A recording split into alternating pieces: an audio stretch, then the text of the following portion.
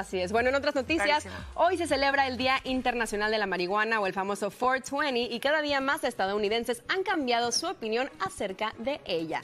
Así lo reveló una encuesta hecha por la cadena CBS que asegura que no solo los americanos piensan que la marihuana debería ser legal, sino que socialmente es más aceptada y mucho menos juzgada Ay, ay, y mucho ay. menos juzgan a las, a las personas que lo consumen, aunque ellas nunca la hayan probado.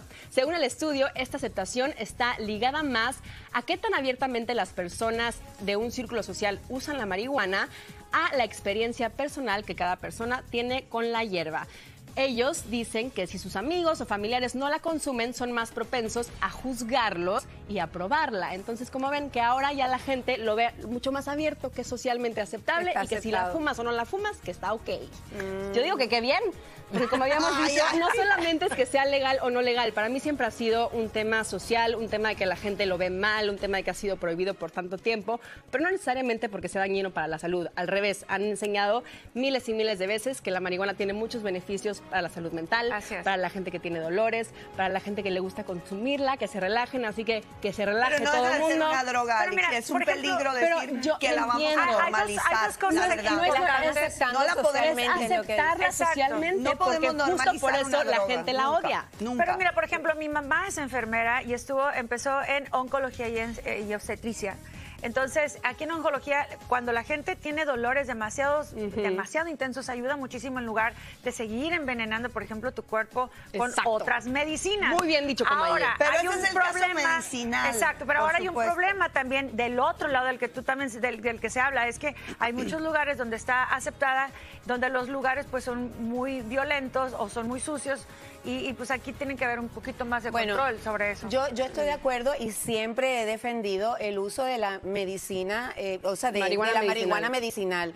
Ahora, eh, no voy a juzgar a una persona que utilice la marihuana de una forma recreacional, pero no entiendo, o sea, para mí tiene que haber unas reglas, porque Y las a hay. mí no me daría ninguna gracia el tener que ir a un restaurante o estar en una fila y tener que estar yo Que ya nos este, pasa. oliendo, o, o sea, tiene que, tiene que haber una regla, tiene que, tenemos que respetar el espacio también de los demás. Totalmente, pero como lo es hoy también con el cigarro. Por ejemplo, Claro, antes se fumaba claro. adentro y todo el mundo estaba fumando el cigarro en todos los lados. aviones, y entonces ya lo quitaron y hay reglas que establecen que no se puede fumar en todos lados, al igual que la marihuana. Tú A no puedes ir a parece estados y fumar en, muy en un restaurante. Muy lamentable Ay, que hoy se esté celebrando este tipo de cosas, sobre todo porque sabemos que años. han sido tantos jóvenes, tanta gente tan talentosa que por estarse metiendo esta droga y todas las que siguen después eh, eh, se han destruido su vida y tantas familias que están sufriendo por tener drogadictos en sus familias y que no pueden sacarlas de este tipo de cosas. Pero la marihuana no es- no es Regularizar la marihuana me parece terrible. Yo respeto la posición de ustedes que lo ven como muy natural y les encanta estar caminando por Nueva York y que les huela marihuana. No, a mí me harta. pero no es me, me, me